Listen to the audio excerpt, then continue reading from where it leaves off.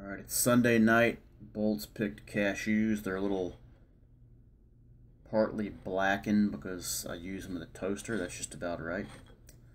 This is the Ferrero Rocher. There's another one that's similar to it. This has been in the freezer for about two years now, and I have I forgot where I got it. I used to have a little fancy paper thing right here attached to it. I have no idea what it is. My guess is it's maybe some kind of like a ball with like a uh, dark chocolate ball. So I'm gonna open it up and see what it's see what's in there. Okay, so I'm wrong. It looks like a uh, almost looks like something that your grandmother would make as like a Christmas treat, a little chocolate peanut butter ball or something.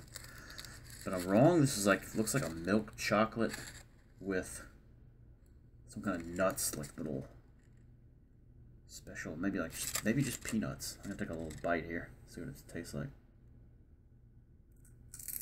Mm, what the?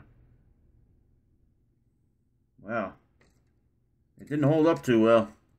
That's kind of crunchy. Definitely old.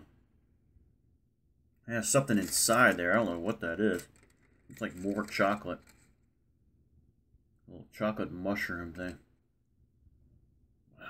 Okay.